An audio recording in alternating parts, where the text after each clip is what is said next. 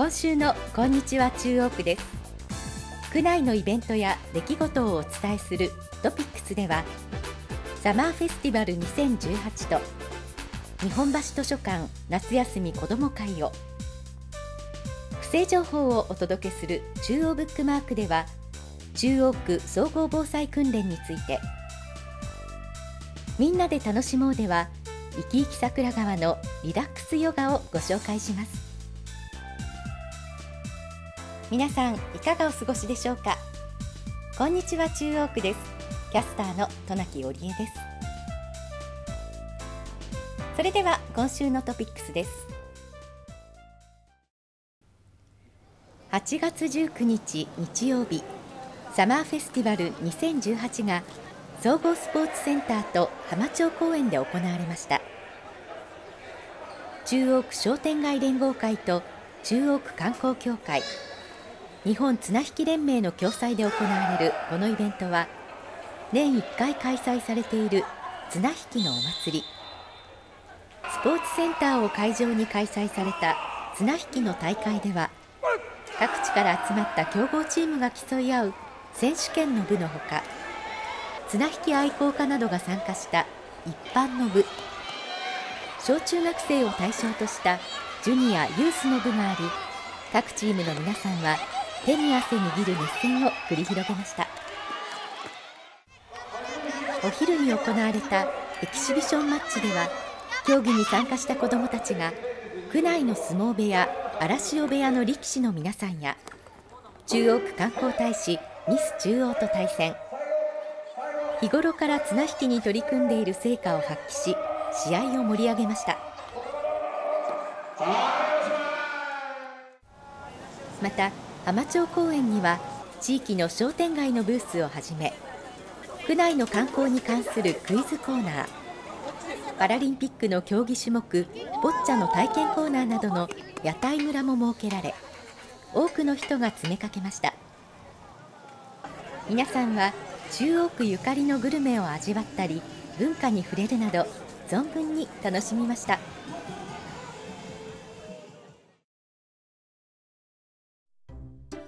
8月20日月曜日日本橋図書館で夏休み子ども会が開催されました。区内3つの図書館では幼児などを対象に定期的に絵本のお話会を行っています。夏休み期間中のこの日は普段より少し長めの1時間にわたり開かれ図書館のスタッフが大型絵本や紙芝居で5つのお話を披露。中でも子どもたちの興味を集めていたのは動物の積み木を使ったお話。話が進んでいき積み木が重なっていくと子どもたちは崩れてしまわないように注意の声を上げるなど一緒に物語を盛り上げていました。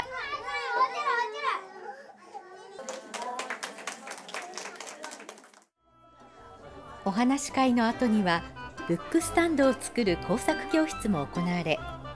参加した皆さんは読み聞かせや工作で楽しい時間を過ごしていましたここまで区内の話題を2つお伝えしました。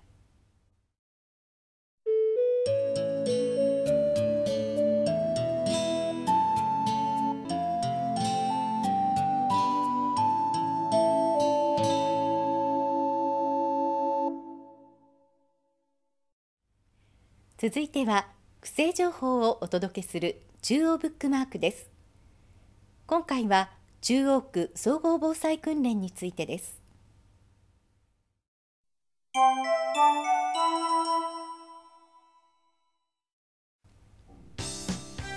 9月2日日曜日浜町公園を主会場として中央区総合防災訓練を行います。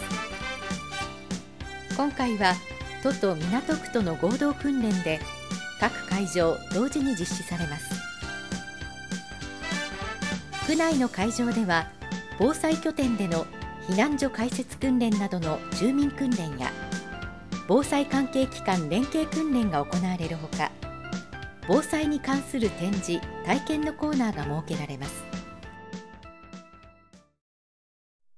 午前9時からは地域の防災拠点である日本橋小学校日本橋中学校で住民訓練を実施。災害時には避難所となる防災拠点の避難所開設訓練をはじめ避難所に備蓄している防災用資機材の取り扱い訓練などを行います。主会場の浜町公園とその周辺では午前9時から防災展示体験コーナーを設置。起震者による地震体験。初期消火応急救護といった各種訓練。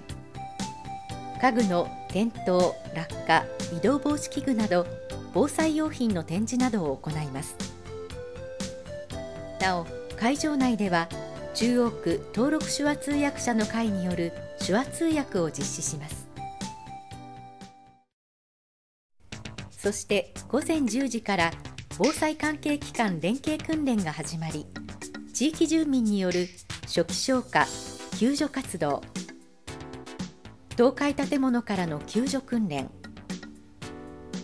一斉放水などを実施します。なお訓練当日は会場の周辺道路の一部で交通規制を行いますので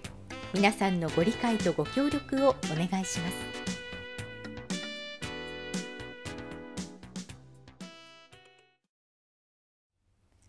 防災に関する見学や体験ができる総合防災訓練。お誘い合わせの上ご来場ください。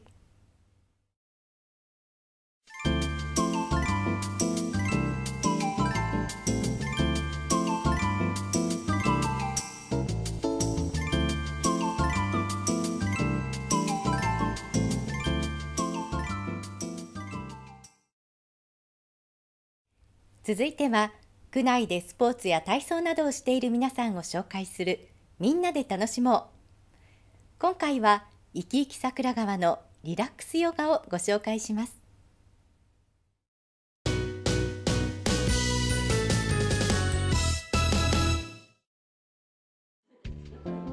生き生き桜川桜川敬老館で毎週金曜日に行われている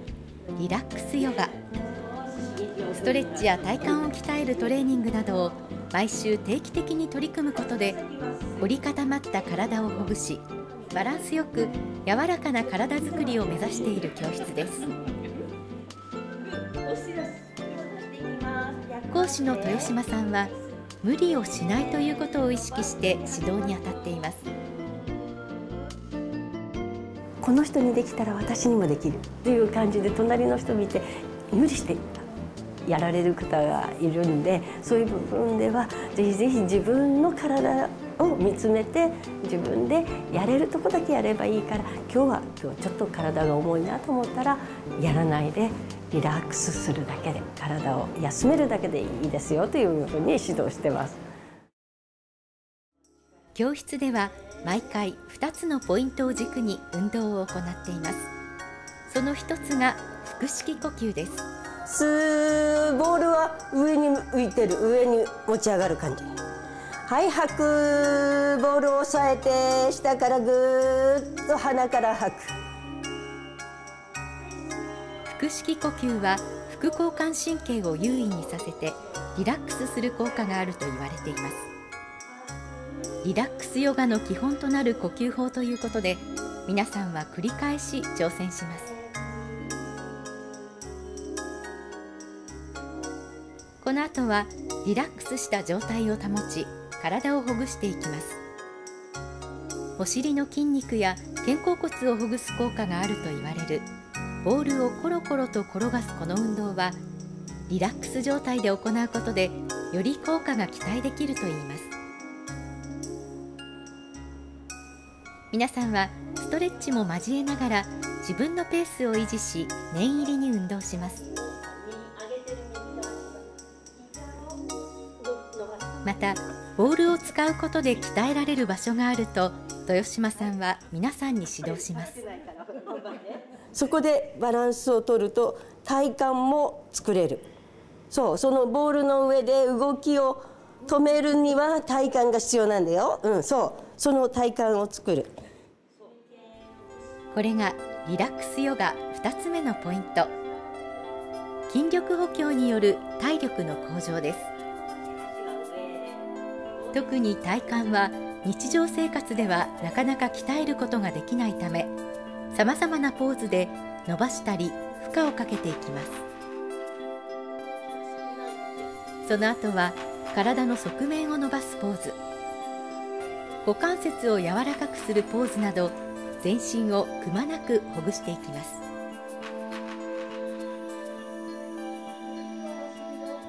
そして再び体幹を鍛えるトレーニング。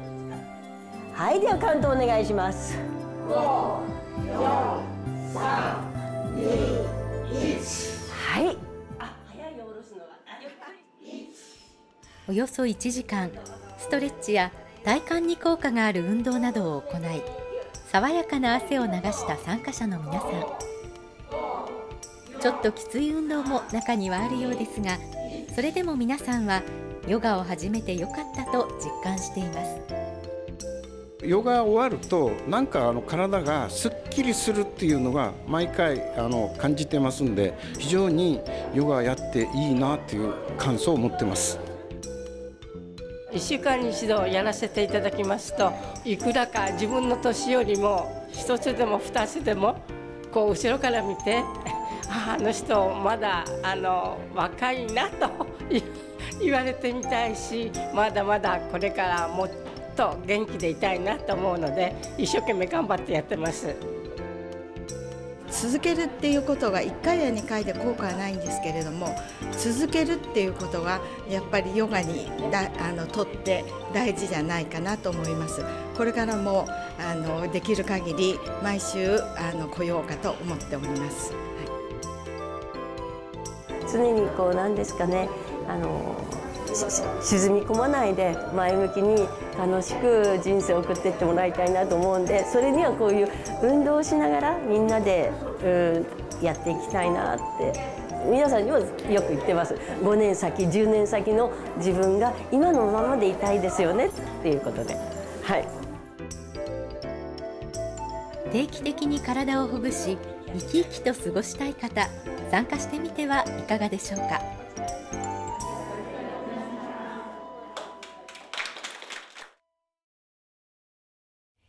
参加している皆さんのリラックスした表情がとても印象的な教室でしたね。続いて中央区からのお知らせです。東京バス協会が発行しているシルバーパスの有効期限は9月30日日曜日までです。現在シルバーパスをお持ちの方には東京バス協会からシルバーパス更新手続きのご案内が届きます。更新を希望される方は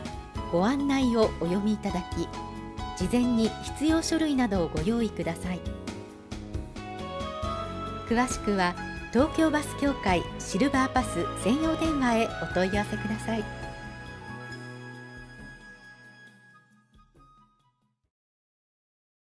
さてお伝えしてまいりましたこんにちは中央区です。今回はここまでです。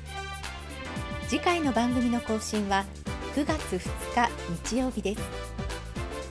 最後はイベント情報をご覧いただきながらのお別れです。それではまたお会いしましょう。